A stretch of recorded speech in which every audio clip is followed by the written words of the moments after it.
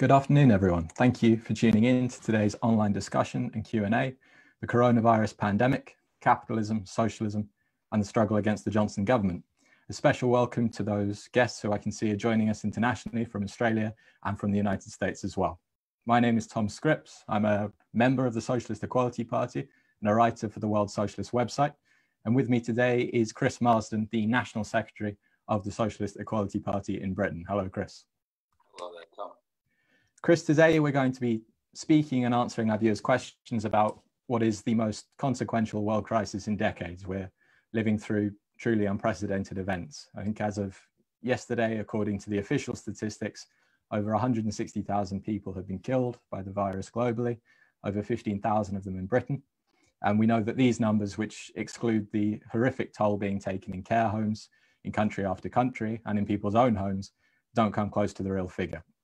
Beyond that, you know that thousands more are sick, many of them severely, and millions have lost their jobs or are being forced to endanger their lives and those of their families by being forced to work in unsafe conditions. How do you, how would you initially appraise the global situation as it stands? That's a very good question, Tom. Um, all of the things you say are correct. I think that it bears thinking about what is how this is presenting itself to billions of workers the world over. Two and a half million cases, and that is a massive underestimation. If you look at the news, you read any newspaper, certainly uh, everyone will have some latest outrageous statement by Donald Trump saying, "Don't believe the Chinese and the Iranian figures." Uh, but the working hypothesis that workers and young people should adopt is don't believe any of them. You know, we, we, we're looking at a situation in which there is a systematic campaign of misinformation about what is taking place throughout the world. Uh, as Tom pointed out, uh, we know, for example, that the statistics that are being reported only count deaths in hospitals, and that's, I think, the case with almost every country. They don't factor in care homes, and they certainly don't factor in the deaths at home of many, many, many more people, not just of coronavirus, but also the fact that people are very scared to go in hospital. People are being told to self isolate. They're told that the uh, it would be socially irresponsible to place burdens on, say, for in, in Britain, the National Health Service. And so people with very acute conditions who are placed under enormous strain are dying. And then, of course, that doesn't factor in the deliberate concealment that is taking place by governments that have got a lot to hide. So the figure of two and a half million cases could easily double. That's the first thing. Secondly, if you're looking at the world situation, I think the most remarkable uh, and salient issue is that there is absolutely no collaboration between any uh, of the major states in dealing with this uh, global pandemic. The European Union, for example, certainly German leading German politicians, were recently forced to apologise to Italy for their failure to respond in any way to their desperate appeals when they were one of the first countries to be hit by the pandemic in Europe. But it was entirely cynical. You know, they they just made this apology in order to keep the EU machine ticking. But all reports continue to be of a beggar thy neighbour policy pursued by every single major capitalist government, from the most immediate, uh, such as the undercutting of uh, one state by another in the desperate uh, search for personal protective equipment, ventilators, etc., to a policy of funneling in literally billions, billions, trillions, in fact, into the uh, bank accounts and pockets of their uh, corporations and banks as they all prepare for trade and military war even and this all takes place even as the impact of cuts are being felt felt uh, in healthcare, elderly care, and across the board. The situation confronting the working class is life threatening when it comes to the coronavirus. It's also uh, their very livelihoods are on the line in a, in, a, in a way that's not been seen since the Great Depression of the 1930s. And as, as many economists and major economic institutions are saying, is worse than the 1930s. In the United States, for example, uh, at least one of the most uh, concerned reports that was issued by the Federal Reserve Bank of St. Louis said that the coronavirus outbreak could end up costing 47 million jobs. Federal Reserve Bank of St. Louis has estimated that on an unemployment rate in the United States of 46, 47 million jobs lost. That's uh, a rate of 32% compared with 25% during the Great Depression. It's not the uh, only such estimate. For example, um, estimate from, from the IMF and the World Bank that the uh, disruption to the world economies caused by COVID 19 is expected to wipe out 6.7% of working hours globally in the second quarter of this year. They rate that as equivalent to 195 million jobs worldwide. Uh, more than four fifths of all workers globally are now living under partial shutdown measures. And when this all finishes, it's not going to go back to anything. There's no return to normality. Of course, there will be a massive uh, drive to hike up the exploitation of the working class, but certainly many workers are not going to be called back into the workforce. And that is going to hit people extremely hardly, hard. For example, uh, workers in the informal sector who are representing some 61% of the global workforce, 2 billion people, don't have any access to any benefits whatsoever. So they'll have no means of uh, feeding their families if their jobs disappear. Um, the International Labour Organization was asked this week whether uh, how many people they thought were going to be unemployed, and they, all that they would commit to was that it will be significantly higher than the 25 million job losses they forecast last month. Uh, just to put that in some sort of perspective, at this point in time, 190 million workers are, un- are unemployed around the world. Now, this situation is extremely explosive. It's not going. There's going to be no return to normality. Each, once this pandemic is past, there will be two things. First of all, a massive campaign will be waged to secure market share around the world between the major capitalist corporations and companies, a very vicious and brutal trade war, all sorts of tensions will emerge.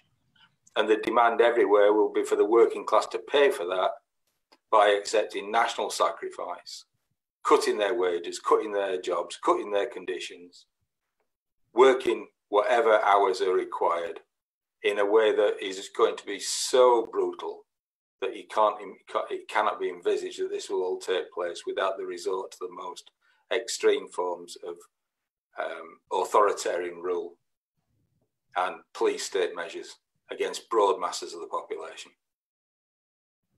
I think some of those points as well uh, draw attention to the fact that as much as the disease itself is natural in origin, the, the evolution of a particular strain of the virus, the global crisis that it's become is social in origin. It builds on or is exploiting the gutted healthcare systems of, of country after country. And you pointed to the uh, lack of solidarity across the European Union, of course, the severe uh, experience of the pandemic in some southern European countries is in, in, a, in considerable part a result of the their destroyed healthcare systems destroyed by uh, austerity mandated by the institutions of that European Union. Perhaps you could speak a little, we could speak a little bit more about how we got here in Britain. As, as we said in the introduction, 15,000 dead. Uh, I think there's a recognition that steps could and could have been taken, ought to have been taken, uh, that would have prevented us get, prevented it ever getting to this stage. Why wasn't this done, and and and what was done by the Johnson government? Well, the, the situation is uh, horrific in this country, absolutely horrific. The death rate in Britain is extraordinary. If you compare, it's the second highest death rate now after the United States. Something like, I think the last figures were 880 odd, compared with close to 2,000 in the United States. But you're dealing with a country there with a population much bigger. So the, the rate of death is so high. And little wonder, it, the, the picture is everything that I said about the global situation. You, you get that uh, in spades in the UK. And the latest piece I've read, National Care Forum, have esti- estimated that more than 4,000 elderly and disabled people have died across residential and nursing care homes. That compares with the official figure uh, acknowledged of 217. Now, whether that's correct or not, you're dealing with a, a multiple factor of deaths. In addition, as, as a result of the failure to provide personal protective equipment, at least 86 health and social care workers are believed to have died as of yesterday morning this, uh, of COVID 19. Um, as well as that, obviously, we have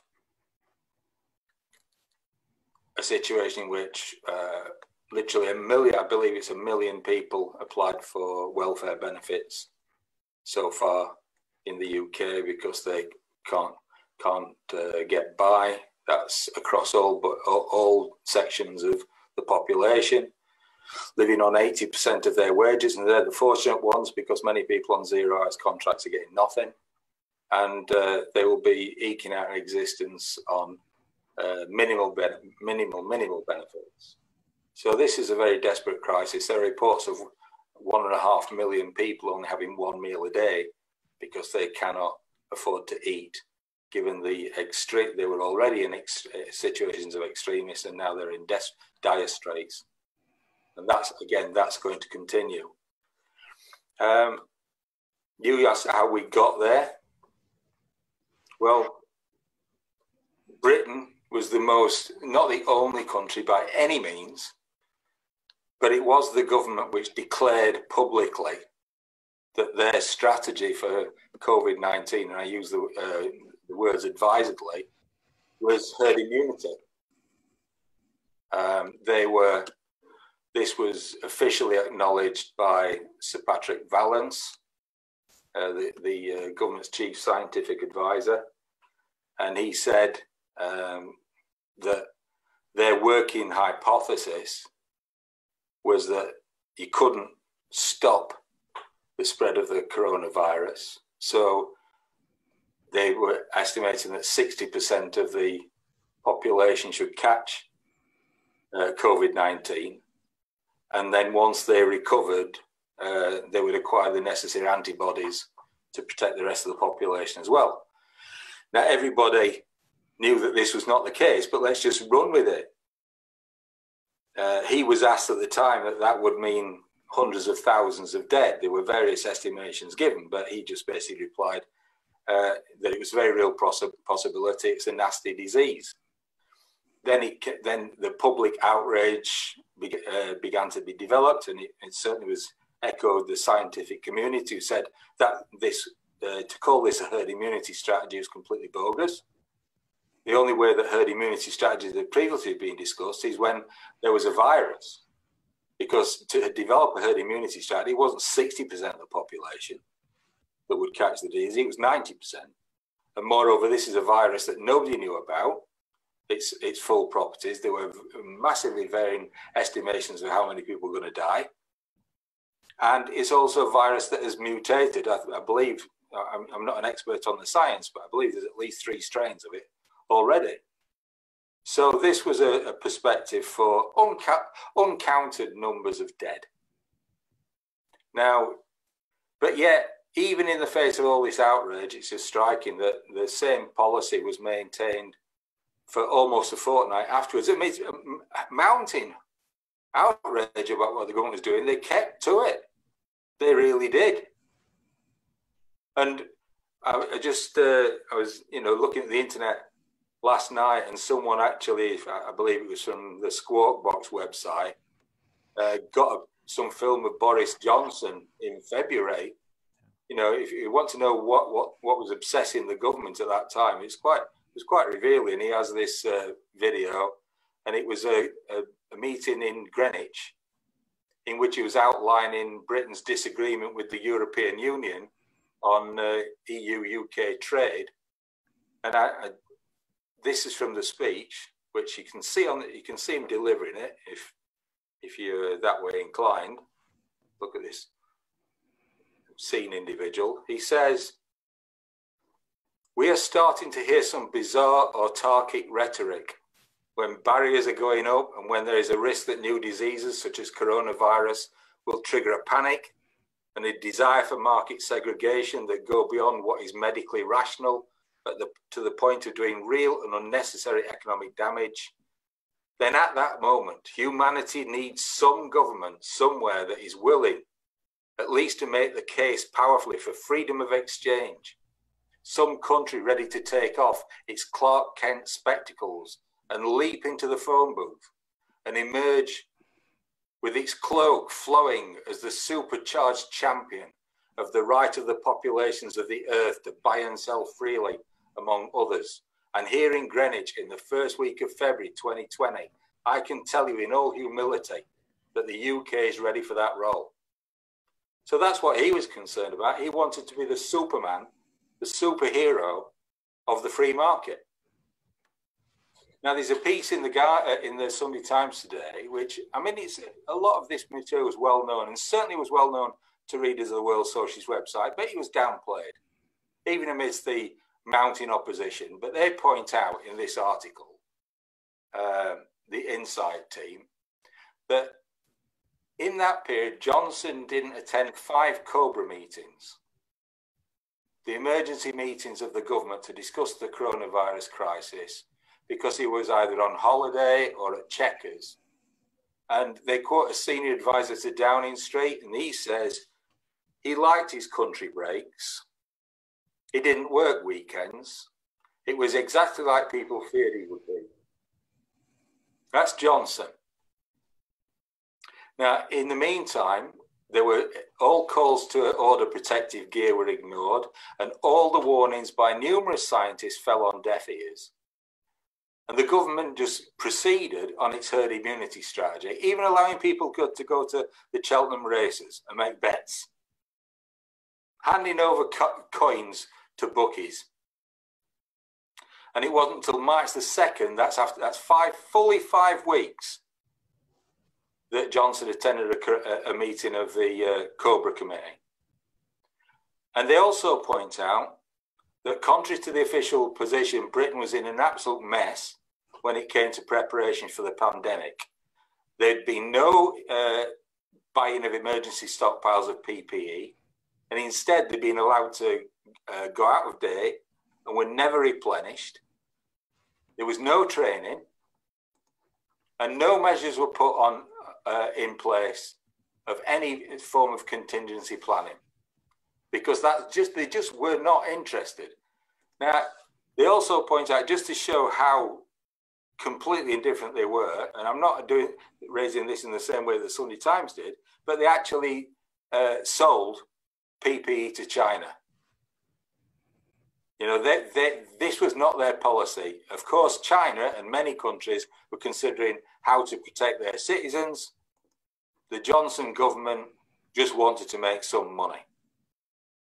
Now, they also pointed out that, I mean, just amongst the warnings, uh, Southampton University, for example, they said they calculated that 190,000 people flew into the UK from Wuhan and other Chinese cities during that period. They were completely aware of the dangers and they were completely indifferent. But it's much worse than, uh, as we know, as every reader of the World Socialist website knows, it's much worse because they, this wasn't what they were they decided in January or December or even February. This was all de- decided years ago in 2016 because they'd had that Operation Cygnus, which was a, a sort of a wargaming strategy for preparation for a for a COVID nineteen style um, pandemic. And their working hypothesis from that point on was that the NHS would collapse. It would collapse. That they wouldn't have enough PPE, they wouldn't have enough intensive care ventilators, and that people would die. I mean, the te- and the Telegraph today has uh, actually cited some figures which I haven't seen before, but they point. This is what they say, uh, and bear in mind this is the Sunday Telegraph. This is the Tory House organ that Boris Johnson wrote for quite lucratively. And this is their words Britain assumed a deadly virus would inevitably cripple the NHS and kill up to 750,000 people. That was their working hypothesis when this all began. When, when Patrick Vallance was speaking about herd immunity, whatever figures they were putting on it, the, the most serious guesstimate by professionals at that time was three quarters of a million people dying in the UK from uh, a coronavirus style disease. And they quote a Whitehall official, and this is what he says everything we planned for was based on the idea that a disease would kill lots and lots of people. We didn't spend a lot of time exploring how we would prevent it in the first place. Instead, we looked at how we could build up mortuary space and intensive care beds after it had already spread. That's the government policy. That's what they were doing. And once this comes out, and once, once all this pans out, it's not that people will be clapping for Boris, they will be demanding his head because he has committed high crimes and misdemeanors against the British working class and against the working class all over the world. And of course, to add to it, the same, fundamentally the same policy or the same conceptions that underline it are in place today and are driving what we've labeled the back to work campaign that's now in action all across the world. The idea that within a relatively short period, with no measures really taken to seriously suppress, let alone eradicate the threat posed by the disease, workers will be sent back to their factories, back out onto the streets to continue producing profits of the major corporations. And that ultimately, this initial period of lockdown is not intended to create the space in which a serious program of testing and contact tracing and all of the things that the World Health Organization has said is necessary to actually combat the disease. It's not been to put these measures in place, it's been to give them some time to work out how they can get the working class back to producing profits. And obviously, there will be problems with that. Um, but we've drawn attention to this campaign on the World Socialist website. We noted that, of course, there was as you've mentioned, a significant stock market crashes all over the world when this pandemic first, um, the virulence of it first became apparent. And then within, I forget the exact time period, but within a few days, you noticed that suddenly there was a, a sudden rush, a sudden uptick in the world stock markets. And that this was because the governments had announced their bailout packages. The major corporations knew that just like in 2008, 2009, there's no real risk involved uh, past a certain level of, of doing business the governments were going to bail them out, and they knew that this money would be secured by the working class being sent back into the factories under unsafe conditions. It, perhaps there's more you can say on what is involved in the Back to Work campaign and some of the examples perhaps from other countries in the world. Well, yes, Back to Work campaigns just it's universal. I mean, apart from country uh, Sweden, which which which has never never had any lockdown, and there are warnings now from medical professionals in that country saying this will be this will have an apocalyptic effect in the long term. There is not a country in the world which is now not actively engaged in a back to work strategy. We've cited Donald Trump. You know, he's basically uh, his latest tweets were saying, "Make no mistake, this is my policy. I might be discussing with the the heads of uh, the governors of various states, but I am determined to get America back to work again. He's even reached out to these far right protesters uh, organized by InfoWars and sites such as that, militia types, saying that, you know, this is about freedoms. America's got, this is what America is all about. You know, this is all about work. The economy's got to get going. Perhaps less, uh, with less bellicosity. That is the position which is being pioneered in Spain. Uh, in that, in this instance, involving a government of the Socialist Party in Podemos, pseudo left tendency that was uh, the one of the great hopes of the um, international radical fraternity. They're pulling it. They did a breakdown in The Guardian, for example, of all the states in Europe uh, that were implementing measures sometime between late April, mid May, including getting the schools back together, getting uh, non essential workers back, back to work, so on and so forth. Um, schools very important. And they did this just to make how, how clear they accompanied this with a graph of how much they thought the uh, hit to their economies was going to be if that didn't take place. So, economics versus life. As we point out, capitalism means um, death, and the working class fighting against this is in a struggle for, for life. I mean, it's that naked, that brutal. In, what's striking for me is just how dangerous that is for the Johnson government. I mean, here's a strange thing that the government that was most open about the herd immunity strategy is having some of the biggest difficulties going back to it. Now, it's not because they won't do it, because they will. In fact, the, all of the discussion, one of the, all the papers this morning were all filled with leaks about what the uh, back to work strategy would be. And it involves, um, in typical, you know, soundbite fashion, uh, red, amber, green, like a series of traffic lights. And red is get the schools back. Now, of course, we, you know, th- th- this was all prepared. You know, apparently there's no threat from schools. You know, we really under, overestimated the danger of uh, the children of adult parents mingling together in school and then coming home on public transport. And this and this is going to have statistically no impact on the coronavirus. It probably wasn't even good to do it in the first place. This is a sort of rewriting that's taking place.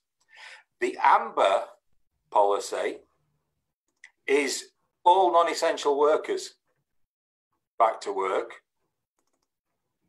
and everything apart from some pubs and restaurants, which will then be phased in a few weeks after that.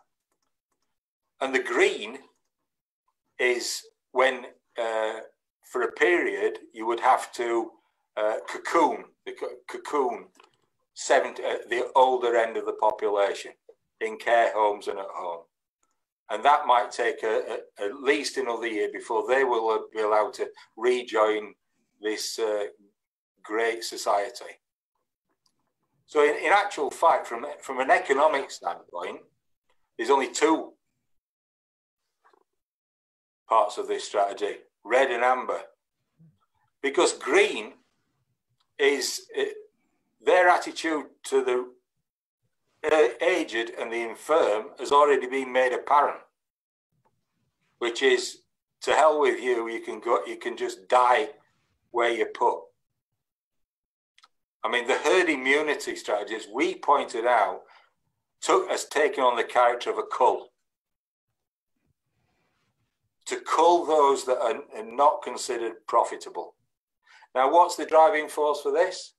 Well, we, we've written on it, and I, I strongly urge all our readers who've not studied them with, with due care and attention to study the two perspectives written by David North on this issue, and the one in uh, in today in today's Saturday's edition of the uh, World Socialist website.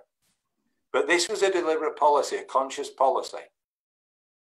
In the United States, trillions were they they they they spent their time. This was a crisis that was coming, and they wanted to funnel massive amounts into the pockets of the super rich, and they did it. That was what they were concerned with. That's what the meetings were about.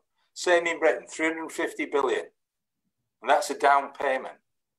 All these things were done with no opposition in, in the UK, not even with a token opposition from the Labour Party.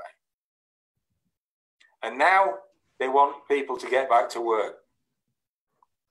And whatever the problems are, they, the issue for them is how do you create the best conditions for doing it? I mean, they're speaking about Boris Johnson coming back. Uh, there's a headline in the Daily Telegraph Boris takes control or some such nonsense.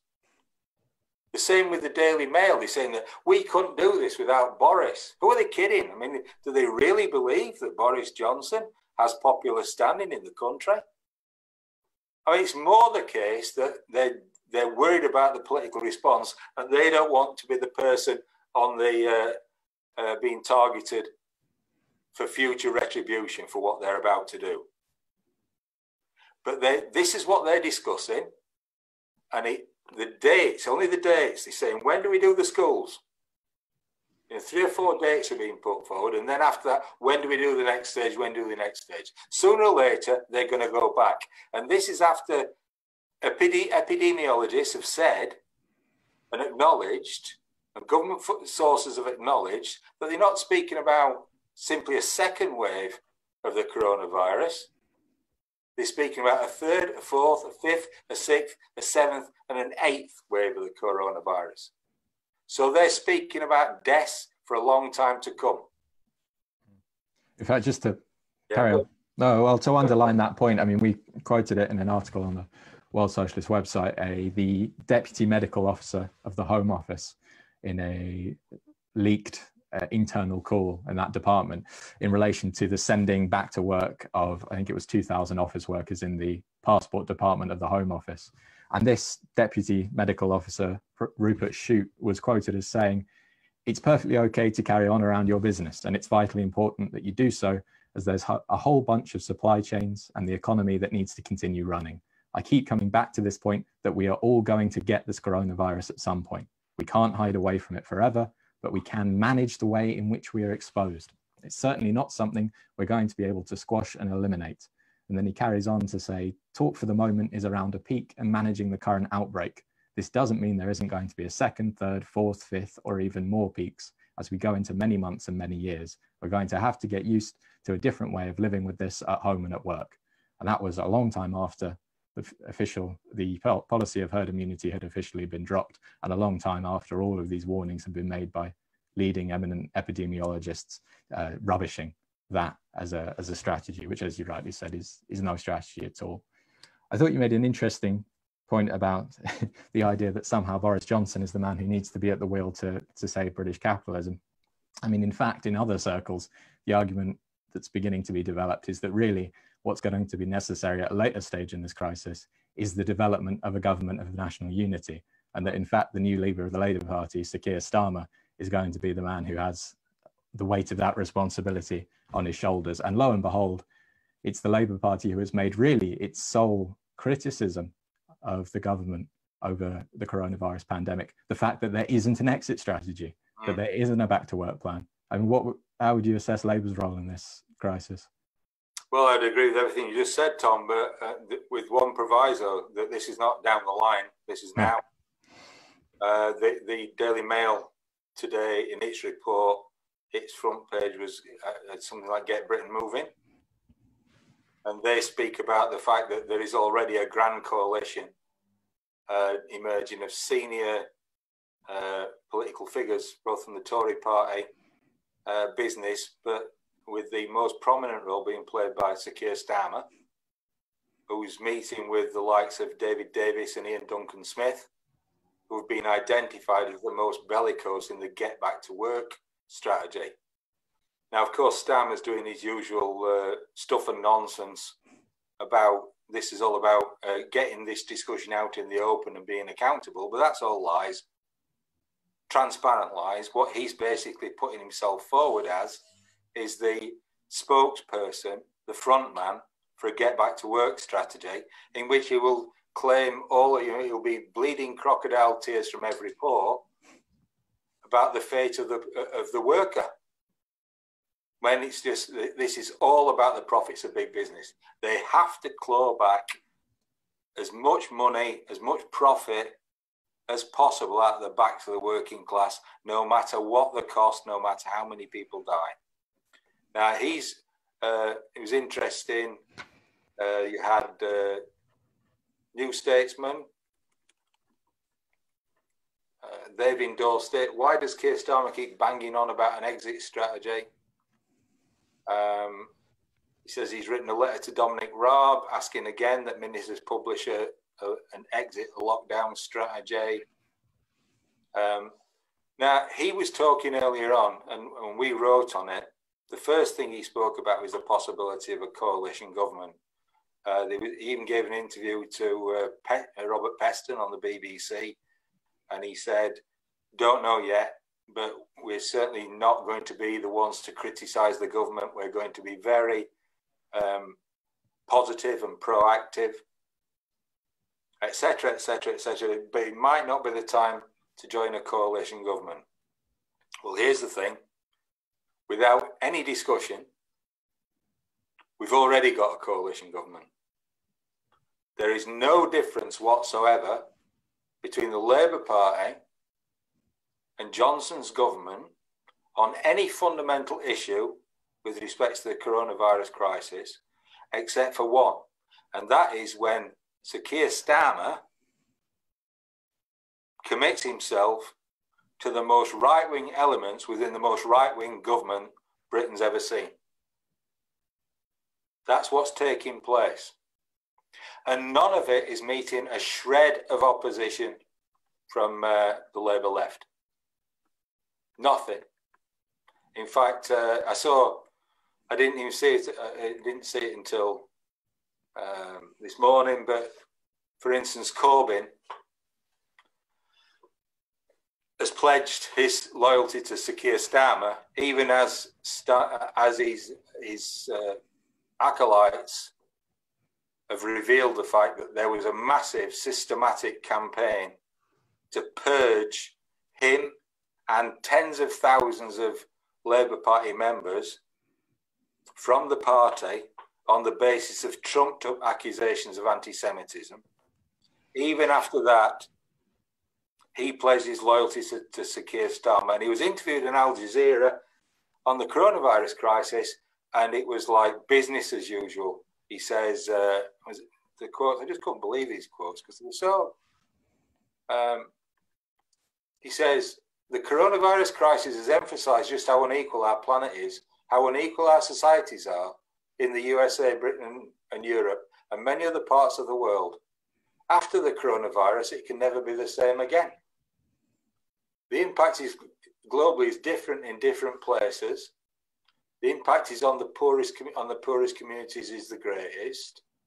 The world is going to be a different place post COVID, and it cannot be a global retrenchment and global austerity it's got to be that we recognise health inequalities are a danger to everyone, even the well off and healthy are in danger of health inequalities. We will, have we will have a more inclusive society in future. So he, he, begins by saying there's massive inequalities that have been revealed by the coronavirus crisis. And he closes by saying even the well off and healthy are in danger because of that and we're going to have a more inclusive society. Amen. As Her Majesty said. There is nothing coming from the left. They've got nothing to say. What's what's very clear is Sir Keir Starmer is the leader that they wanted. They're all working with him now.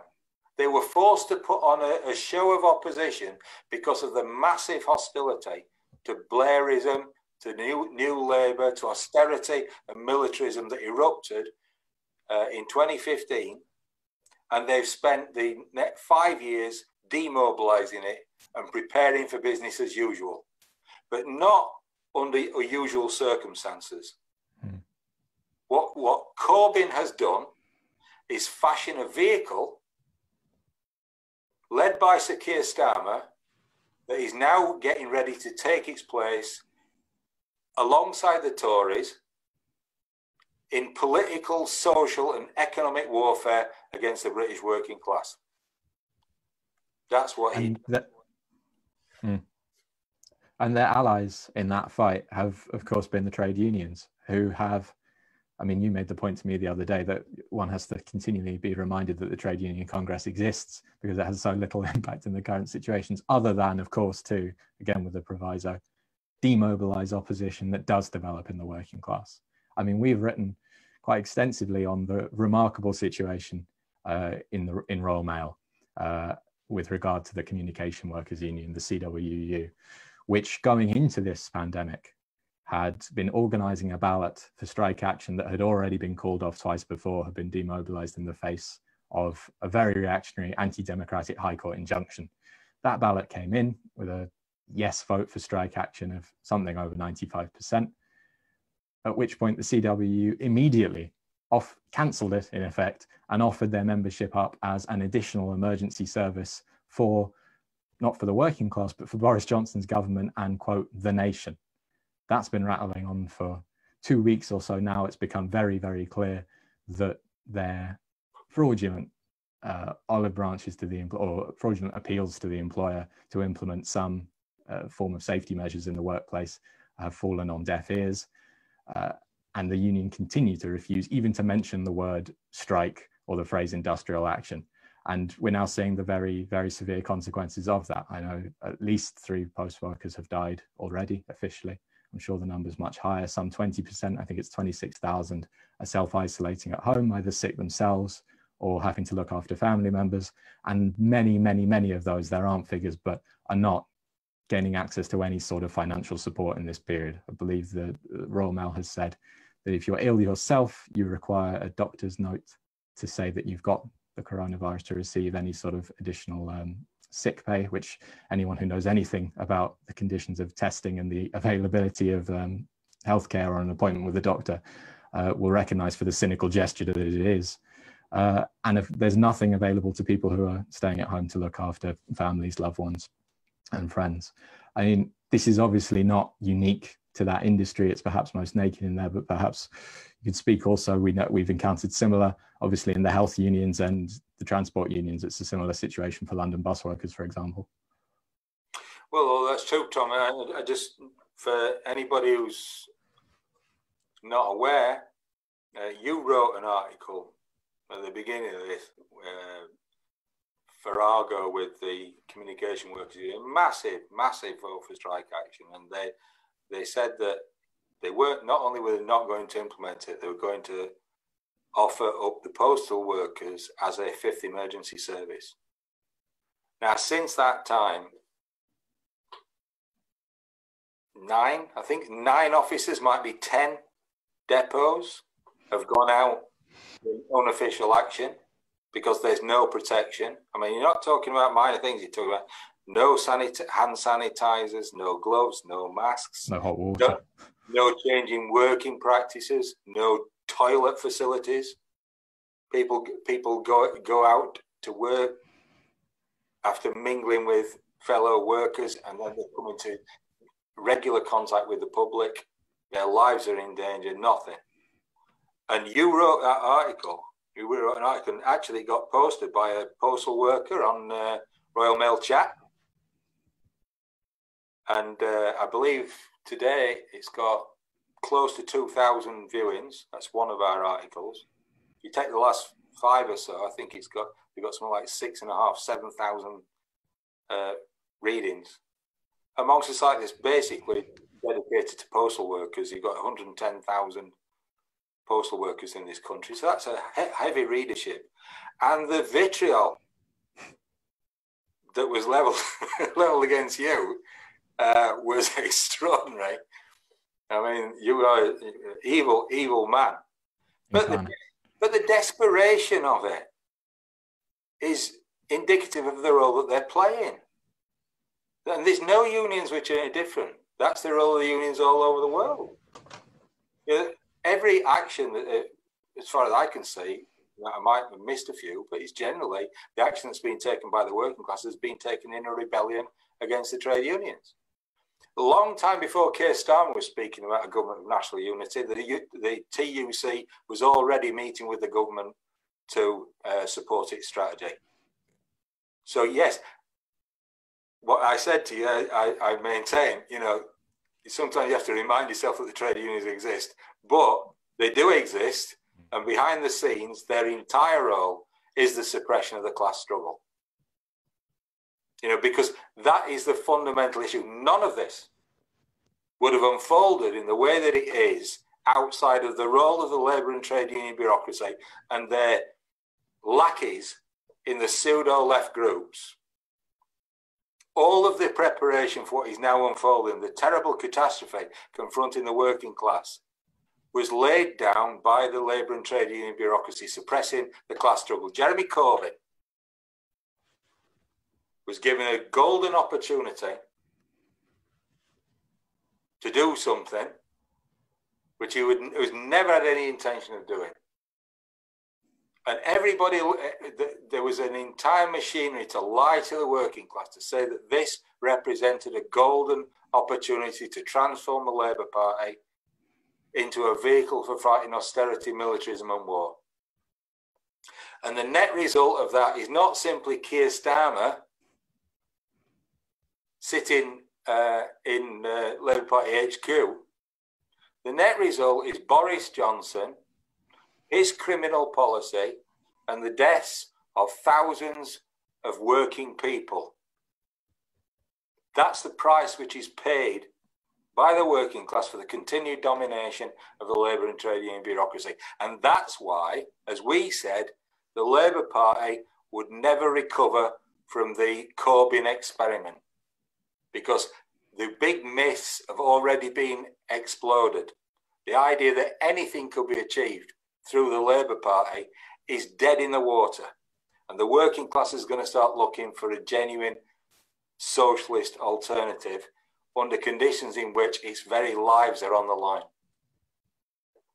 We just had a, a, comment on the video which points out in relation to what we were saying about the Royal Mail, which says um, our local post worker said his base was so tiny and squashed and Victorian, in his words, it was impossible to maintain safe distance and they only had gloves for protection. I mean, it is, it's that widespread that you can mention it and someone's got a story about it.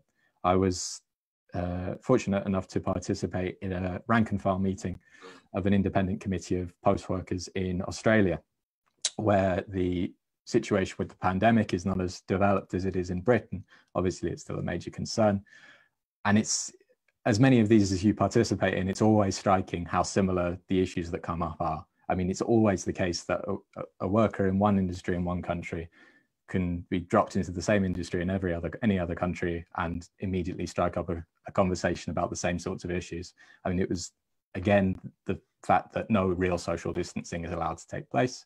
Of course, like everywhere else in Australia, post workers are twice as busy as they are as uh, individuals like Jeff Bezos, the owner of Amazon, and the rest rake in the billions in the context of this pandemic and the confinement of, of billions to their homes. Uh, post workers there as well in individual workplaces were given no information about the spread of the virus throughout workplaces. There are lies told that there have been no cases or that if there have, the depot has been cleaned. And the union there as well make absolutely no effort to inform work, workforces across different depots of the situation. They don't only isolate between industries, but between, well, between workplaces. And even uh, I heard one story of not letting the next shift know that someone had fallen ill on the shift before. The, the union rep uh, was on the early shift, left, and didn't think it was necessary to tell the workers coming in afterwards that uh, obviously there could be a danger of infection.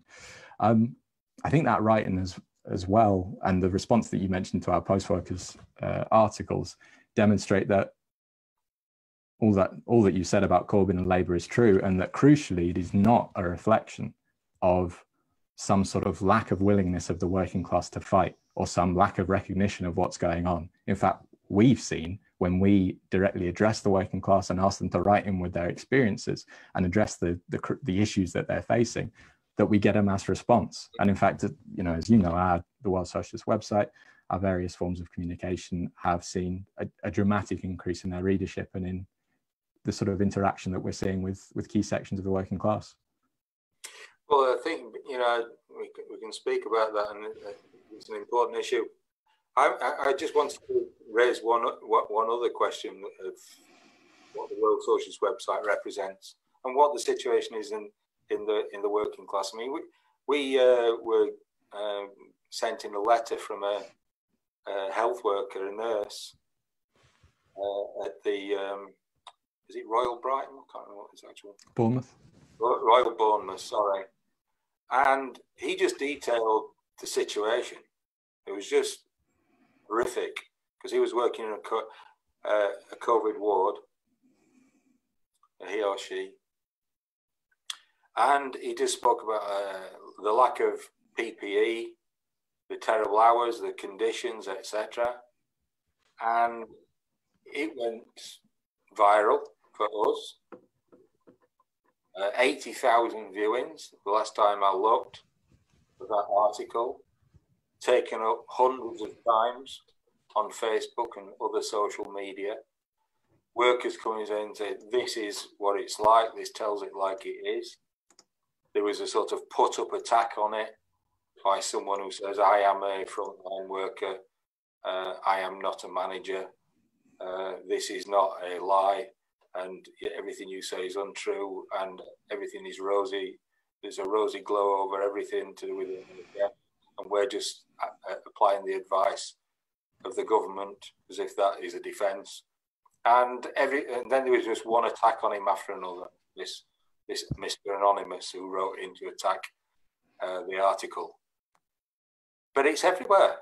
I mean, it's on the buses his taxi drivers. There was a report. I, am sorry, I don't have his name in front of me. There was what one taxi driver was uh, was uh, an immigrant, an Uber driver, and he, and he died at home because he was afraid to go into the hospital. They're now saying that many Im- immigrants are dying because they're scared to go into the NHS, and there's been an appeal not to con not to investigate them. You know that, that if if someone falls ill however, even if they just fall ill and they're in this kind of a job, there's an enormous pressure not to acknowledge it because you will not work again. I mean, this is a this is a catastrophe, and it's a deliberate policy. And to return to it, return to what we're saying, all of this was known. All of this was factored in. There are no surprises. They were told how many people would die, and they said it's a it's a price worth paying. In fact, they've conducted a this is an official policy. Just just to reverse roles, because you've been asking me questions and, and so on and forth.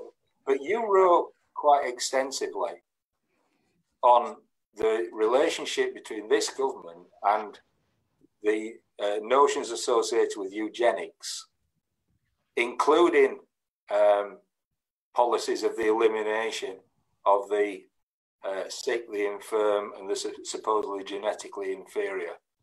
And really, this is the most graphic demonstration that that policy was not a backroom interest, you know, some quirks among certain Tories, but was has informed official government policy.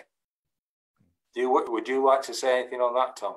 Yeah, absolutely. I mean, wherever it comes up, it's always as you say, it's presented in the corporate media as some sort of quirk or oddball that somehow found their way into the halls of power.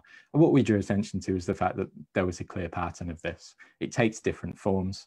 Uh, the most naked was, of course, the appointment of a man called Andrew Sabisky to a special to the position of special advisor to the government, uh, a man who had previously directly advocated eugenic type policies uh, and who held the view that is quite common amongst particularly senior members of the Tory party that intelligence in particular is ultimately overwhelmingly genetic and that frankly we just have to acknowledge the fact that there is a vast difference in the natural capabilities which are unalterable in this argument between different human beings and the vastly the terribly unequal society that we see is a reflection of that fact. Uh, Johnson gave a speech um, some years ago to that effect. Dominic Cummings authored a paper uh, that this is Cummings is uh, Johnson's chief special advisor. He authored a paper when he was advising Michael Gove when he was education secretary, essentially arguing that a, a rounded education for working class children was pointless because well, the, the fact that they were working class represented uh, their inferior genetic stock. And it reaches the, the, the vicious level of a, a Tory um, prospective parliamentary candidate referring to uh, people on a, a program that cover, uh, looks at people on social security and commenting on social media that these people need putting down, uh, all the way over to Jacob Rees-Mogg, the sort of house aristocrat of the Tory party, uh, commenting that he and his interviewer would have been more likely to survive the horrific Grenfell Tower, Tower fire uh, because it, they had more, they had the common sense to do so by implication, of course, meaning that the residents themselves didn't, the poor residents didn't. I mean, to understand the role that it plays, you've got to recognize, I think, that historically eugenics and the broader ideology which accompanies it uh, of social Darwinism, i.e., that the strong survive and prosper, and that's the way it should be, have always come to the fore when the class struggle has reached a particular pitch of intense of high intensity. I mean, it initially emerged in the late 1800s, really as a direct answer to the rising socialist movement, which was gaining a mass audience in the working class. I mean, where Marxism explained the origins of poverty and inequality in the exploitation of the working class um, and of global inequality and imperialist depression, social Darwinism basically answered that no, no, no, these inequalities you see are the product of different qualities of human being, different grades of human being. Um, it's in that sense, a, a pseudo-scientific, pseudo-philosophical justification for social inequality under capitalism and its most abhorrent consequences in terms of shortened lives um, and, and, generally oppressed lives. It flows from the socio-economic interests of the capitalist class. And you can see that process in motion today very, very clearly. You know, the Johnson government were determined, as you've explained, to ignore the pandemic, to continue running business as usual to keep profits flowing and to prevent money, financial resources being diverted from their rightful owners in the ruling, its rightful owners in the ruling class to public health measures and, and uh, public health resources. And to do so, they leaned on the ideological support or crutch, which is provided by any number of newspaper columnists, right wing newspaper columnists or academics who see that their services are needed who provide what is presented as a moral argument that some people matter less and more than that that really it's it's moral that the weak shuffle out of the way in society. Uh, this is always advanced behind the sort of a sort of smiling benevolent face which in this case uh, is saying that we need to society as a whole needs to confront the reality of death that we need to put more attention into end of life care even more nakedly is has anyone asked the elderly if they actually want to, in essence to carry on living? And obviously there's all sorts of legitimate points about uh, dignity in later life. That's not the concern that's motivating these arguments. What it's essentially saying and arguing is that past a certain point life, the continuation of life, is really unnatural. And how is that certain point to be determined? It's to be determined by the amount of wealth and therefore of healthcare resources that a particular individual can command. It, it, comes back full circle to the justification of social inequality. But they're actually now, you know, that if, if most people were asked to sum up, for example, the philosophy of social Darwinism, it would, you know, the, the taking Darwin's findings from uh, th- the theory of evolution and, and bastardizing it to this statement survival of the fittest. Mm. But that's the official policy now. Mm, absolutely. You know, I... it, it, they, have released that um, those guidelines for who's supposed to get treatment, haven't they? Uh, whether it's for ventilation, etc. Yeah, absolutely. Which rather than having the conversation about how we move the vast amount of resources that exist in society to where they're needed to providing adequate healthcare for everyone, uh, moving out of the billionaire class and into public healthcare. The conversation is about, and the, the philosophers are summoned and the moral, the ethicists are summoned to discuss how we apportion and ration healthcare on the basis of, a, of what is a system of, of ranking life um, and of bean counting about what the value of a, of a human life is. There's this line that keeps coming out uh, we mustn't let the cure be worse than the disease. i.e., we, we, these lockdowns mustn't be allowed to so terribly impact economic life. Um, that they cause, as they put it, more deaths than the disease itself. Now, of course, if, if which, which, is, which, is, the statement that's highlighted in the uh, in this weekend's perspective from mm-hmm. Roger Cohen from the, I believe, from the New York Times. Mm-hmm. Absolutely. And, and there's an, an, an, innumerable citations in that piece, isn't there, the, which make very clear that the ideas of the of very far right conceptions associated with fascism are now re-emerging with full force within substantial sections of the bourgeoisie and its ide- ideologues. I mean, for instance, I mean, it, not many people because it, this caused something of a crisis and they dropped it very quickly. But it wasn't just the uh, pensioners and the age age that were saying they weren't going to get treatment. They also did the same thing for people with uh, like Down syndrome and with uh, you know serious illnesses. They were also going to be sacrificed, weren't they? Mm. I mean, this is the sort of stuff that's associated with the Nazis in, in Germany in the 1930s. That you know, the what what did uh, Hitler call them? The empty eaters. Mm.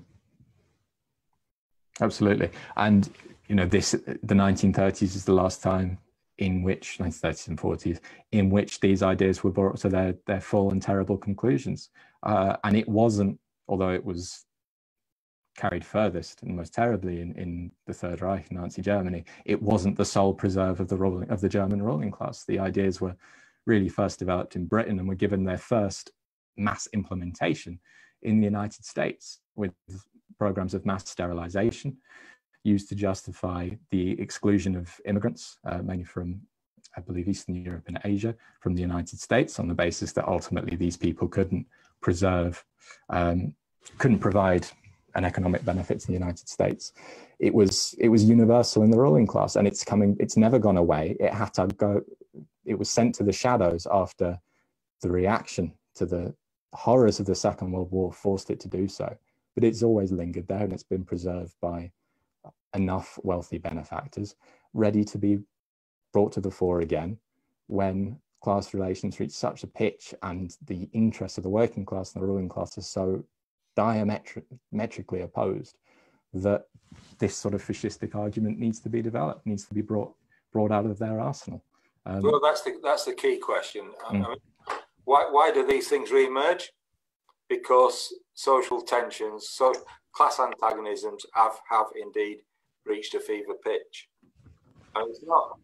What's happening now? It's you know, I, ideologically, this is extraordinary. All of the uh, social nostrums that justified the profit system are being blown up uh, rather than cap- capitalists uh, taking the risks and getting the rewards for their enterprise. Um, they're just sucking money out of society, being handed handed it over by governments which they control. So that the billionaires and trillionaires and God, figures which people can't even comprehend become increasingly wealthy, the Jeff Bezos of this world, whereas everybody else is just on a downward spiral into poverty and destitution. So the whole society, it, it, it can't, it can't defend life, it can't offer a job, it can't offer any security, your home's in danger, the health service in danger, your, your children don't get educated. You won't get a pension. I mean, they're now speaking about getting rid of the triple lock, for example, on the pension because we can no longer afford it. So everybody's pensions is just going to be eroded to nothing. If you ever get to become a pensioner anymore. I mean, that's a thing of the past because now you, you should be you should be prepared to die early and die in pain. So this is where we're at. And then these ideological nostrums that were put to one side in the post-war period after that horrific experience of fascism everything the terrible things which happened 60 70 million dead the holocaust and all of that never again none of that would emerge again and yet now it does. One right wing government after another coming to power, and all of the ideological filth of the past re emerging with full force directed against the working class. And all of that also, I think this should be understood, because the new normal is what we're speaking of now. And what will that new normal be? It will be the most brutal forms of exploitation imposed upon tens and hundreds of millions of working people by a class who's now celebrating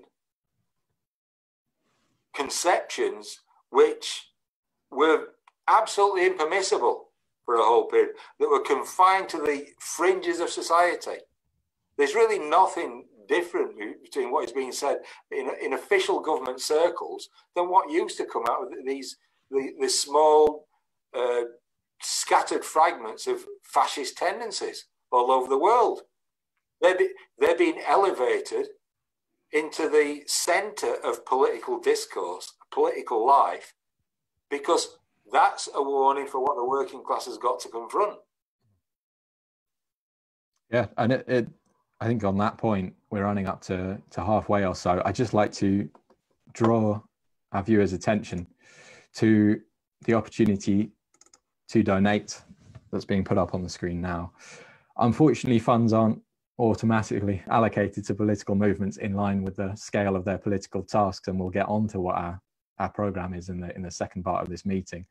Our ability to do our work comes from the support and the self-sacrifice of workers and young people who recognize the burning necessity of what it is we've set out to and have to achieve, um, especially in the conditions of this pandemic where and global crisis, which on the one hand bring countless new challenges and on the other interrupt for the time being your ability to, to as it were, physically uh, lend us support, a financial contribution, and if at all possible, a regular contribution or, and donation becomes all the more vital to us. If you agree with the analysis you've heard so far here today, if you've been following particularly the World Socialist website for some time and recognize the necessity for the building of an independent mass internationalist party of the working class represented by, by ourselves, the Socialist Equality Britain and our, uh, in Britain and our sister parties elsewhere, then do please consider what donation and contribution you can make.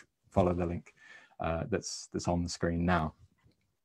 Just to restart the discussion, I mean, we're getting a few questions on this point, and we mentioned Sir Keir Starmer earlier, of course, the former Director of Public Prosecutions, uh, a role in which he played a criminal role in the persecution of the current political prisoner and the most significant journalist of the 21st century, Julian Assange. There are all manner of concerns uh, that flow from the current situation in British prisons for his health, in addition to all of the other concerns that were already uh, attendant to that trial. Would you like to speak a bit about, particularly perhaps the campaign that the Socialist Equality Party has has waged over Assange and the and the dangers that are now posed to posed to his life in so many ways? Well, I think it is striking the campaign uh, for Assange's freedom, which we were the only political tendency that consistently fought for that I mean, obviously, there was you know many people fought in defence of Julian Assange for a whole period, but from a consistent socialist standpoint, we were alone. He was completely betrayed and abandoned by the pseudo left tendencies the world over from 2012 onwards. And even then, they, they were somewhat ambivalent towards him. And he was abandoned by the social democrats, the trade union apparatuses all over the world, and nowhere more so than in the UK. I mean, the Labour Party has played a key role in isolating Assange and delivering him into the terrible predicament that he now finds himself in Belmarsh Maximum Security Prison after decades of uh, imprisonment, isolation in the Ecuadorian embassy. Uh, sorry, after years in the Ecuadorian embassy, uh, with his health terribly compromised, uh, his immune system terribly compromised, and um, with a, a lung condition, which is the worst possible condition to have with the, the coronavirus pandemic, and under conditions now in which coronavirus has proved to be not just rampant throughout the prison system, but within Belmarsh Maximum Security Prison, amongst both prisoners and staff, in which Assange is being kept in there by a vindictive uh, judicial system, despite the fact he has no charges against him. In fact, they argued that the, Vanessa Justice Judge Vanessa has said that he wouldn't be released when others were being released because he because he's not serving a sentence. I mean, it was truly Orwellian statements were being made. And he cannot be freed. Now, as we wrote at the time, that what conclusion could be drawn from this? Because they want him dead. They want Assange dead. And if they don't kill him in Belmarsh, they want nothing to stand in the way for, for, for, for his uh, being extradited to the United States to be silenced forever to face charges that carry a sentence of 175 years in prison. Now, what was our campaign? Our campaign was not simply to fight for Assange's freedom, but to offer a way that that freedom could be secured against simply moral appeals, or least of all, appeals for a change of heart from Jeremy uh, Corbyn, the Labour Party, the trade unions, Amnesty International. As we said, if you're going to free Assange, you have to understand why he's imprisoned. He's imprisoned because he alerted broad layers of working, the working class and young people to imperialist war crimes. And they decided to silence him.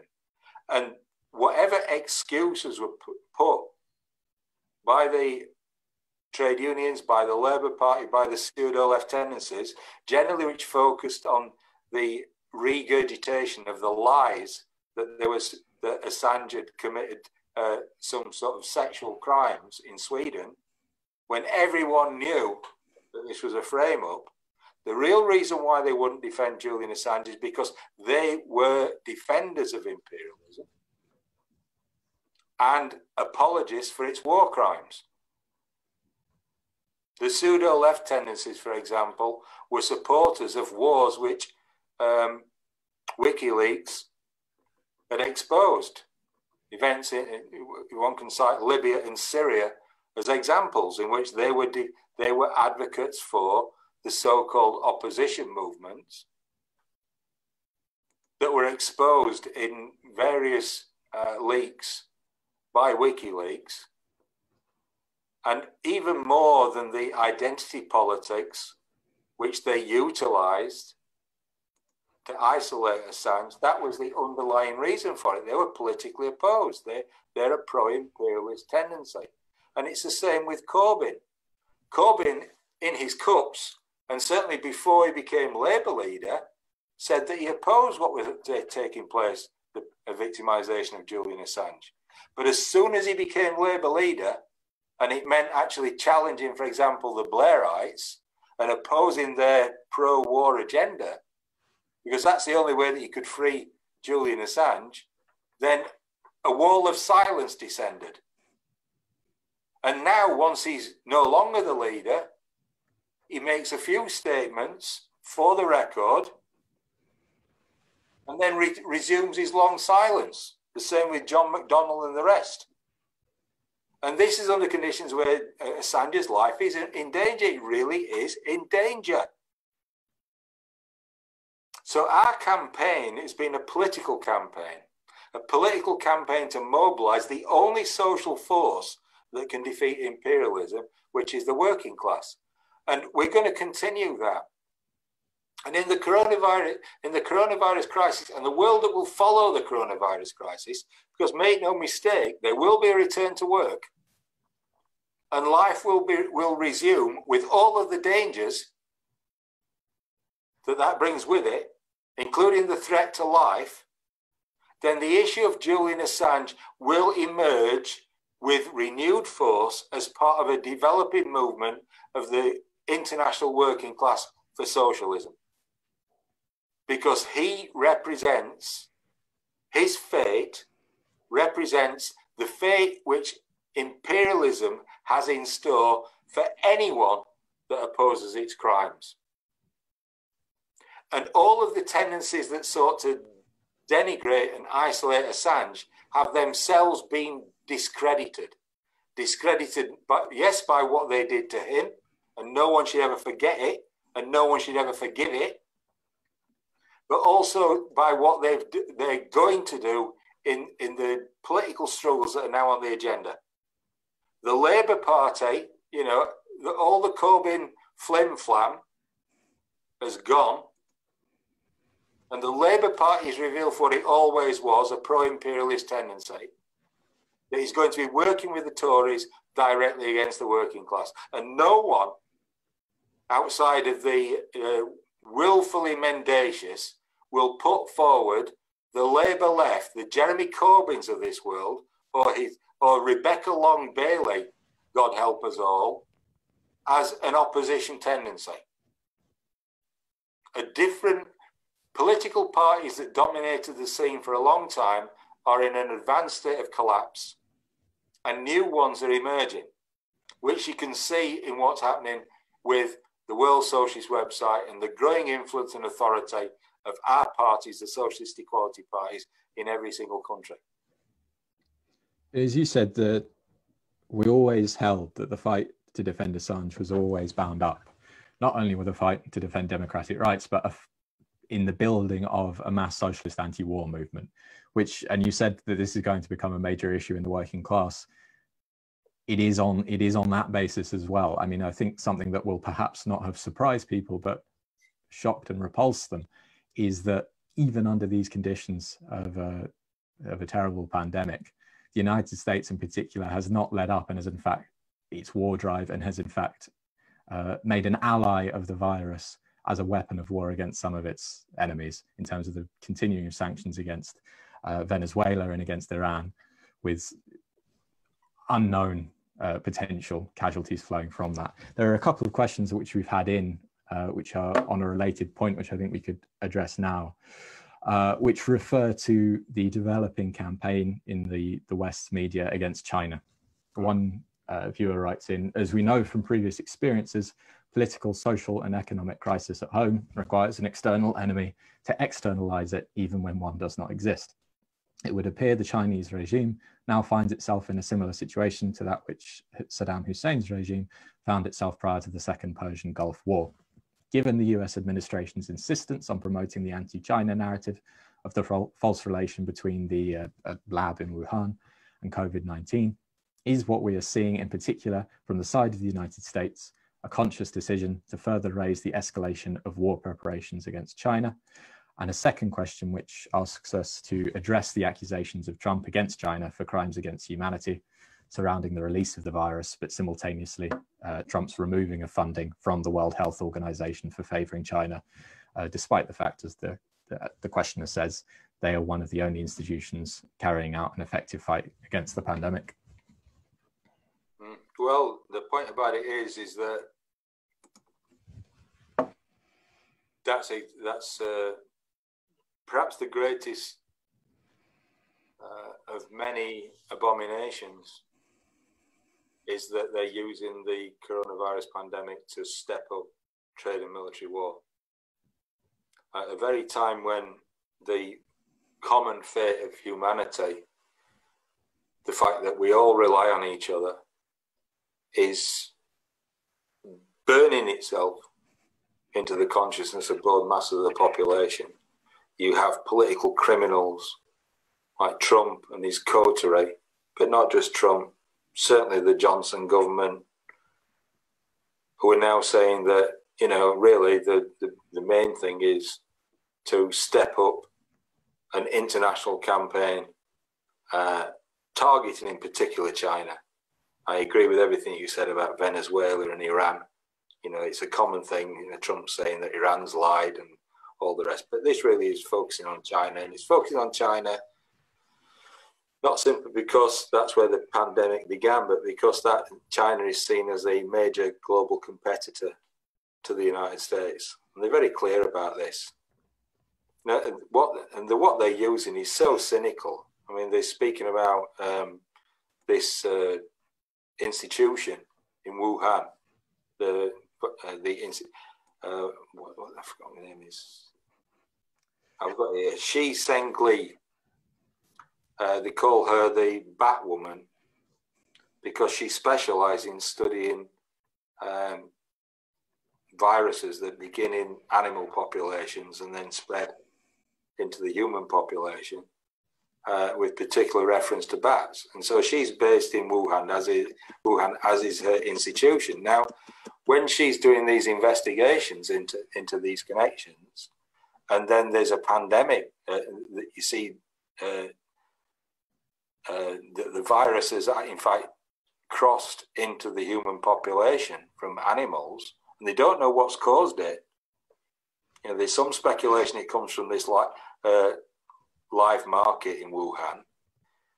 As a responsible scientist, she says, is, it, is there any possibility that this could have come out of my laboratory?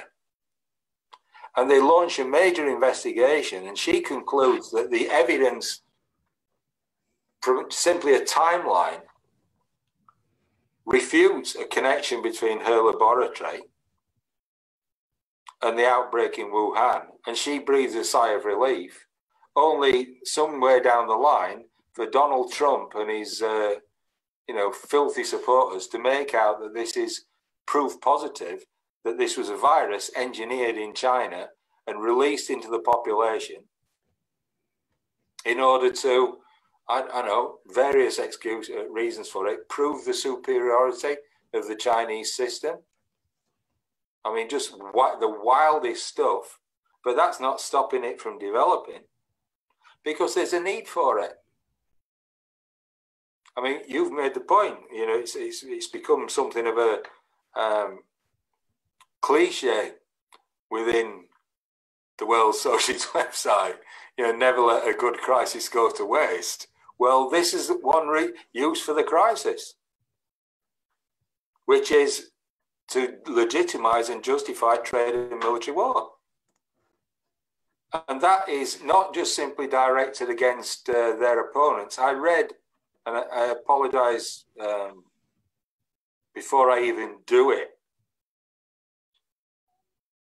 I can't apologize enough, but I'm going to quote Jeremy Clarkson in the Times. Now, this is not, no one wants to quote Jeremy Clarkson. However, it has the advantage of being because he's such a brutal thug of an individual, you know, and as uh, the comedian Stewart Lee pointed out, it's only a joke. But this is what he says in his uh, Sunday Times column this week. His title, We Definitely Can't Blame the Germans This Time. So wealthy second homers get a kick in instead. He says in this piece, and I'm, I'm paraphrasing like mad because it's a long diatribe, as one would assume from this man. He says the lockdown is t- it's not bringing out the best in people. The lockdown is turning most people into, into monsters.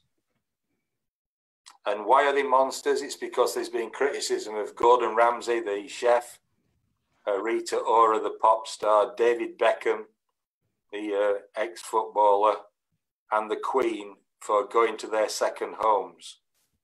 and he finds this outrageous. Uh, that there's a populist streak in this. They're targeting the rich. There's a sentiment against the rich developing, and he says the big problem is that when the pandemic is over, things will get much worse as millions emerge blinking into the light to find that they have no food, jobs, pension, or savings, anger will mold their bitterness into a petrol bomb, especially now that petrol, bo- petrol is so cheap. He then complains, going on from that, in addition, literally everyone wants government cash. And he says, and he wants, and literally everyone isn't going to get it. He then says, some people think it's, I mean, it basically results to the magic money tree argument that people think there's just unlimited cash. And then he says, others who have a slightly, in brackets, better understanding of fiscal issues will say the problem can be addressed by taxing the rich. He says, because there are so many people like this out there who think the rich should be taxed, and because social media gives them a voice, this government will not survive the post virus apocalypse. And Q. Keir Starmer, he says, We are told that 2 million could lose their jobs, but it could be 4 million, it could be 6. We've already seen footage from Italy of enraged families trying to kick their way through the supermarket's windows, and it's likely this will happen here too. And this is his conclusion. To prevent this kind of social meltdown, it's imperative we, we find someone to blame for all our problems. And he concludes in the First and Second World Wars, there were unimaginable hardships, but the country was united because everyone knew who was to blame the Germans. All our negative energy was focused on them, not one another. Sadly, these days, it is considered racist to blame a country and its people and their penchant for eating wildlife. But I think it would be healthier for everyone if we could. Now, that stripped of all the highfalutin stuff summarizes the purpose and function of xenophobia and anti Chinese xenophobia in particular in the current climate. They know that social tensions have reached breaking point, that there's going to be a challenge, that governments will not survive, that social antagonisms will erupt and take an explosive form, and they are seeking to mobilize people and redirect tensions away and out towards China, uh, Iran, Venezuela, immigrants, call it what you will. But I will say this that the sentiment that exists in the working class is not that. The sentiment that he identifies in his crude, right wing, typically filthy way dominates in the working class. There's a feeling that capitalism has been exposed and that something more equitable, more humane must emerge. And it's our task to give that direction.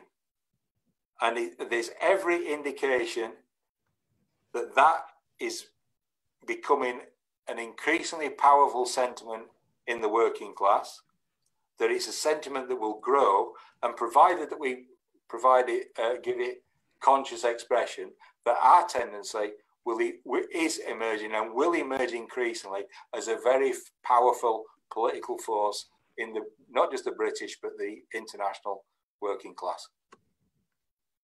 Uh, I agree completely, and in fact, uh, Clarkson undersells his argument because the monstrous population also went after those saints, Mike Ashley, who tried to claim that tennis shoes were essential items and bring his workforce uh, back into into unsafe conditions.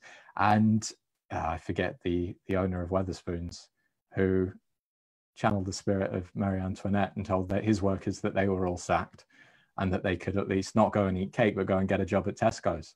Um, and the fact is, and the important point about this is that there was a strong, strong reaction to this and a, a general developing sentiment that these that the masters of the universe, that the billionaire class are far from being some sort of the pioneers of society and the ones who drive it forward are the parasites on it.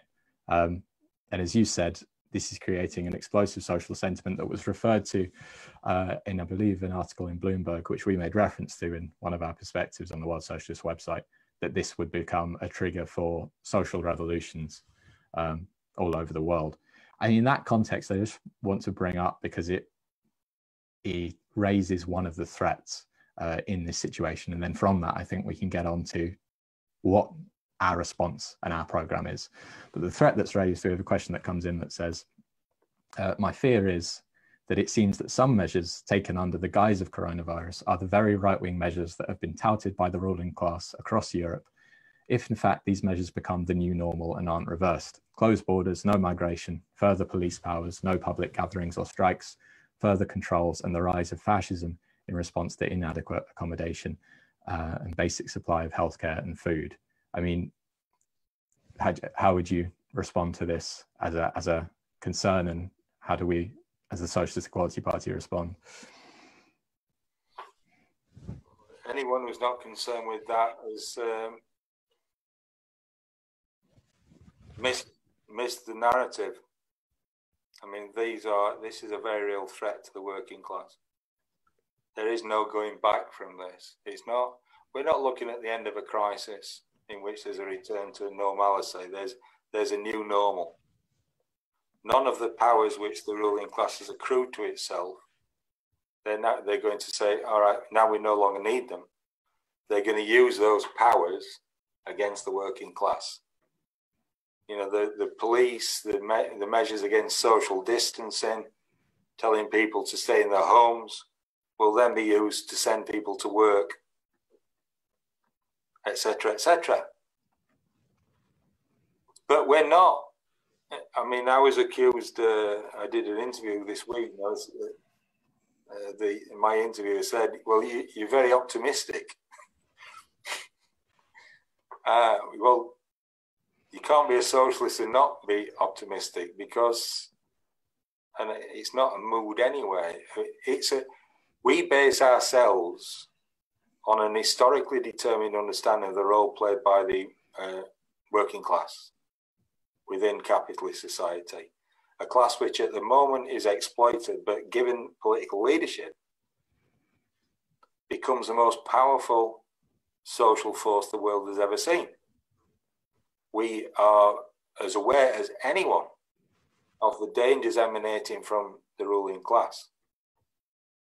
But unlike every other tendency that's written off the working class, we don't share the position that workers are gullible, stupid, that they are that they don't respond.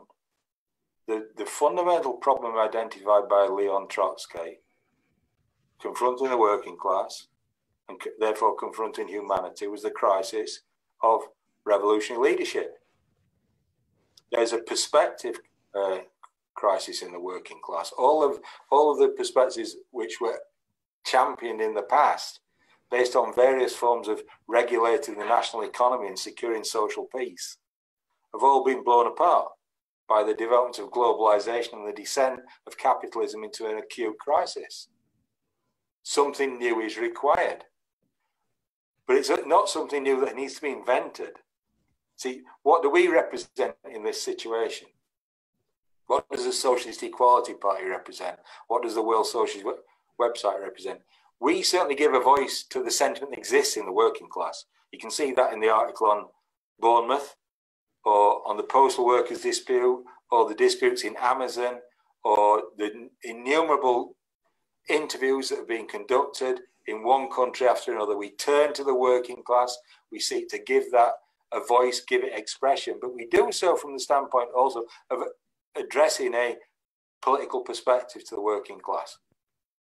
And there's a growing audience for it. I mean, we, you know, we, we discussed about the uh, the readership of the World Socialist website. Uh, you know, just just as just a sight. Sorry about this. Should have really printed this out. Um, but the audience for our perspective is getting bigger all the time. Uh, the, uh, according to Alexa, which is the authority considered to be the authoritative account of these things, the World Socialist website is ranked 15,323rd in global internet traffic and engagement. In the UK, its ranking is 1,554th. That's an that's an incredible situation. If you consider that um, we've uh, the Labour Party's website is 207,406th in its global ranking. Jeremy Corbyn is so low in his ranking that there are no comparable stats statistics available. Uh, Alexa ranks him as 2,420,250th, and that is a fall of half a million over the last 90 days. Our left wing competitors, for want of a better term, uh, the Socialist Party and Socialist Workers' Party barely figure. Now, we know at, the, at this point we are a small political tendency, you know, but all of the indications are not think not simply because we're optimistic, but all of the indications are that as this crisis develops, they develops a growing audience for the program and perspective associated with the Trotskyist movement and defended historically by the International Committee and embodied in the World Socialist website, the Socialist Equality Parties, and our cadre. And those who are listening today who aren't members should think about that very seriously. Because if there's a recognition, for example, uh, whoever asked the question, of the dangers that are pregnant within this situation, then what is the answer? If you're in danger, you prepare to, to confront that danger. And confronting that danger requires the building of a new political leadership in the working class. And that leadership is the SEP. And just following on from those obviously very important points, a viewer asks, in spite of pressure from the trades unions on workers to carry on regardless in deadly working conditions in order to safeguard the economy from total collapse, there is a growing resistance in the working class to continue working in these conditions and also resistance to the end of social isolation, to a, a premature end of the public health measures, uh, and a resistance to that call to return to work. How can this resistance be taken forward? Obviously, we've articulated a series of demands on the World Socialist website. We've produced a number of very important perspectives which give a lead to the sort of political response that has to be taken. Um, and we've addressed, as we've said, several key sectors of the workforce with a program uh, and with steps that can be taken to begin organizing uh, a, a, movement of the working class that can can resist this danger, as you've said. Perhaps as we're coming to, to our sort of closing time, you could elaborate what some of those demands are and, and how we have sought to respond to this crisis and encourage workers to do so. Yes, well, I mean, first of all, all of our demands, whatever demand we place, has one overarching aim, which which is to develop the independent political activity and initiative of the working class. And we don't do that uh, by ignoring the present state of social relations. We, we live under capitalism. So we don't limit ourselves to um, local initiatives, you know, food banks, um, helping out in the community, which are all very good and necessary under certain circumstances. But what we say is that there is an absolute conflict between the interests of the broad mass of the population and the existing social, uh, social and political system. There, is va- there are vast amounts of money, resources, finance, everything that is required to combat COVID 19, to safeguard jobs, to de- develop and extend health provision, care for the elderly, pensions, all exist within society, but it's all monopolized by the ruling class. It's, it owns the banks, it owns the corporations, it controls the governments. So we say to the working class, we put before the working class a series of demands that direct the working class to changing, challenging, and changing that situation. We say take control of essential industries, strip the wealth from the oligarchy,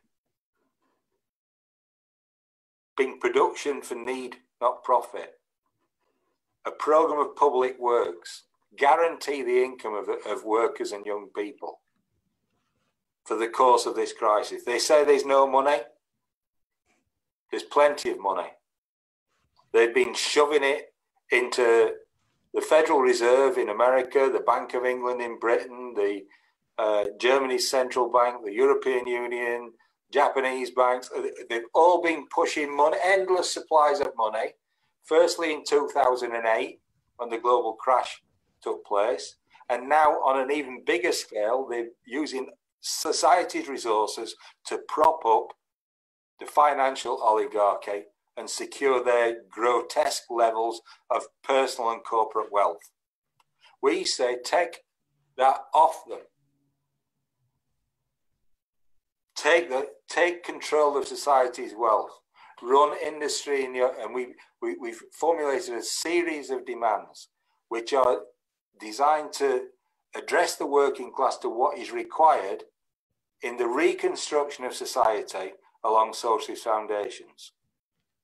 Demands that inexorably lead to the conclusion that the working class has got to take state power and implement a socialist system. And that is, but it's never from the standpoint of simply demanding others do. We mobilize, we, seek in the working class to become an independent political factor in political life and social life. Accompanying that, we, we make an absolute stress that you can't trust the Labour Party, you can't trust the Democratic Party, you can't trust the SPD, you can't trust Podemos, you can't trust, trust Syriza, you can trust none of these parties. You cannot rely on the trade unions. The trade unions confront the working class as a hostile force. They are instruments of corporate management in the imposition of job losses, wage cuts, speed ups. So we call for the creation of rank and file committees in the workplaces, uh, community uh, organisations that develop the independent activity of the working class. But it all centres on one central task, which is the the construction of a new leadership in the working class, a, revolution, a revolutionary party of the international working class. You cannot develop a genuine response to any of society's problems now on a national basis. Doesn't matter whether it's the coronavirus crisis, global unemployment, the impending economic catastrophe, the growing th- threat of war, environmental degradation, they all point to the need to organize on a global scale. The only class that can carry that forward and in, in that doing in doing so become a pole of attraction for scientists, academics, the more oppressed layers of the population, including the peasantry, is the working class because it is the only in, international class with no interest in the existing system of exploitation and the division of the world into antagonistic nation states. So we advance at the center of everything we do the perspective of world socialism, of the revolutionary seizure of power by the working class and the transformation of society uh, uh, along socialist foundations of production of planned production for need, not profit, that can utilize the enormous resources of the world to meet essential the essential requirements of the billions of people on this planet. And that is that type of political realignment is pregnant within this situation. But it has to be fought for. The, if, I, if I was going to conclude on anything, we're speaking to people on this meeting, I hope, who are somewhat familiar with what the World Socialist website stands for and what the Socialist Equality Party represents. Well, there are certain times when you have to take a decision to decide. If you agree with the perspective that we've outlined, if you understand the gravity of the situation now confronting workers in Britain, Europe, and internationally, then it requires that you dedicate your life to socialism, take your position within the Socialist Equality Party, fight for its resources. And I want to make a special appeal, and I know that we'll probably conclude on this, to, li- to join in and attend our International May Day meeting on May the 2nd, because we will outline the global international perspective that is represented by the International Committee of the Fourth International, the World, Tro- the World Trotskyist Movement, the World Party of Socialist Revolution. Thank you, Chris. And we are, as you say, running up close to our two hour cutoff mark. Obviously, this isn't the end of the discussion. Some very crucial political issues have been raised here today, which I, I know those watching will, will think long and hard on. And now we, as Chris has said, would like to let you know about some key events and ways in which you can stay in contact with the work of the Socialist Equality Party and the World Socialist website. As Chris has mentioned, in just under two weeks' time, on Saturday, the 2nd of May, uh, four o'clock in the UK, our international movement is organizing and streaming a May Day rally. Speakers from all over the world, leading figures in the socialist movement, will be giving presentations on every aspect of the coronavirus pandemic and, crucially, on the struggle of the international working class for its own independent socialist response to this crisis. Any fight back against what we've characterized as the malign neglect of the world's capitalist governments and for a humane society which protects people's lives and livelihoods begins at this event. We encourage all of you to make plans to attend, uh, yourselves, of course, but also to invite any friends, family members, and colleagues, uh, and to begin building the only movement which can offer a way out of the slaughterhouse that 21st century capitalism has become. Uh, we thank you very much for your attendance at what is uh, a first attempt at an online meeting on our part. Thank you for bearing with us. We hope it came across well. Uh, and we, as we say, encourage you to continue the discussion on the Facebook page after we're gone. Uh, and we look forward to seeing you on the Saturday after next. Thank you very much, Chris, as well. Thank you. And thanks everyone for listening. Bye-bye.